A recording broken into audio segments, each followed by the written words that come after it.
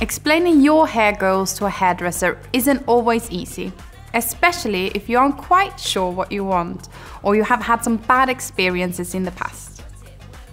Expressing yourself in the right way during the consultation means you avoid leaving the salon disappointed and your hairdresser can quickly identify what hair you are craving. After watching this video, you're going to know how to prepare for your appointment, what to ask for, and most importantly, how to get the hair you really want. Let's break things down and look at how you can best prepare for your consultation. It's time for a little reflection.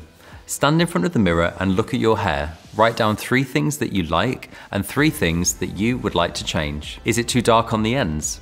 Does your colour look a bit stripy or dull? Do you love your natural sun-kissed pieces around your face? Make a note of these as you'll need them during your consultation. As an expert tip, it's always best to do this in natural daylight as you'll see your true hair colour much better. Most of the time, hairdressers can tell if your hair is completely natural or not, but occasionally they need your help to know what's lurking beneath the surface. Just because you might have been a year since you've had a colour or a Brazilian blow dry doesn't mean that it's completely washed out. It's also a good idea to write down any specific home care products that you like or ones to avoid and why. The more information, the better. There are so many different colour options and no two colours are exactly the same. So arrive at your appointment with a clear idea of what you want and at least three pictures of hair that you really like. Be specific. What is it that you like about these pictures? Why are you drawn to them? How are they different from other colours which are similar? Being able to verbalize this will ensure your hairdresser really understands you and where you want to get to. If you're looking for inspiration, visit the Wella Professional Pinterest account. Click on the saved boards and here you will find lots of different categories like blondes, balayage and this year's colour trends we can get you started. This might sound obvious. Try to find images of hair which is similar to yours in length and also thickness. A colour technique will look completely different for each hair type.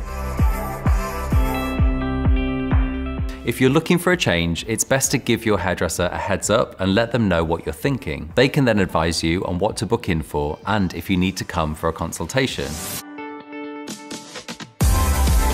The first step in the consultation is where your hairdresser will get to know you and your hair type. You can prepare your answers for these questions in advance. So how do you feel about your hair? What's your likes and dislikes? Does your colour suit your lifestyle? And what kind of budget are you working with? And how often do you want to visit the salon? This is also where your hairdresser will assess your hair type, hair history and what colours would suit you.